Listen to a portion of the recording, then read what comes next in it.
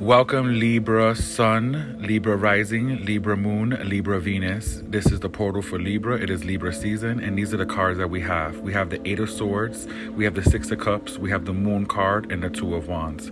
With the Eight of Swords, Swords represents your thoughts and the way you communicate. Either you've been communicating and you feel stuck, or you feel trapped, like you have nowhere to go mentally or you feel like you're in a situation that you can't get out of. But that's not true unless you believe it.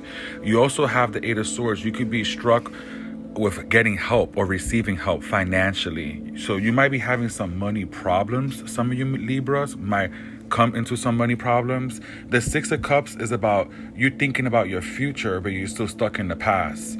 And it looks like you have a lot of suitors, romantic suitors could be coming back from the past and you might have some inner turmoil or conflict or drama with these past lovers that's trying to come back into your life.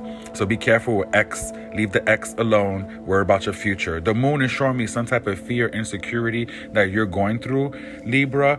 Either you're struggling and having insecurities with your job or going to school. So school or work could be feeling very conflicted, but I feel like you overcome those things and shadow those things. With the Two of Wands, I feel like you have no choice but to start making decisions about the people in your life and the actions that you're going to do. Two of Wands shows me that you look at your life or introspecting or reflecting on your life that you deserve better. With the Two of Wands, make better decisions and choices with the people you're dealing with. Also, I feel like you're low key spying on someone because I feel like with the Two of Wands, you're watching someone on social media or on the internet somehow. The sun card is that, you know, you're happy right now, you're looking for new things. I feel like some of you could be taking a course or a trade to get a business license in the future, and that could be a best achievement. As for the stalking thing, yeah, you're just stalking this person, this person is stalking you to keep tabs on you to see what you're doing.